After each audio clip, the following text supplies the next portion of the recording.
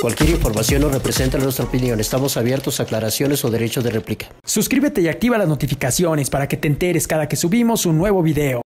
TV Azteca podría estar cerca de perder a una de sus máximas figuras. Se trata de Carlos Alberto Pérez, mejor conocido como el Capi, quien de acuerdo al medio de circulación nacional estaría pensando en su salida tras no llegar a un acuerdo sobre las cláusulas de su contrato. Según lo señalado, el Capi Pérez piensa en no renovar contrato con la televisora de la Jusco. El problema podría derivar de no querer negociar cláusulas de su contrato, algo que el conductor no ha confirmado ni desmentido. Aunque el presentador de televisión no se ha proclamado al respecto, cabe resaltar que su ausencia sería crucial para la audiencia del matutino, pues en la mayoría de sus publicaciones los seguidores resaltan que es una de las figuras favoritas de la conducción, incluso señalan que es de los conductores más queridos de la televisora.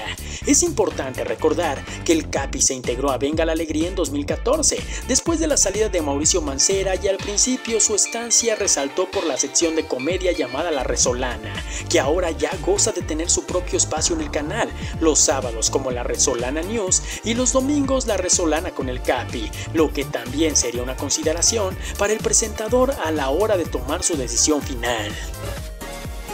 ¿Te gustó este video? Dale like y compartir, ya que todos los días te traeremos el alboroto de los famosos.